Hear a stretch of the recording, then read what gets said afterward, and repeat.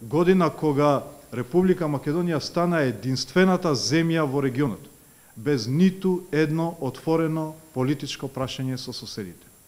Единствена држава во регионот без ниту еден сантиметар оспорена граница.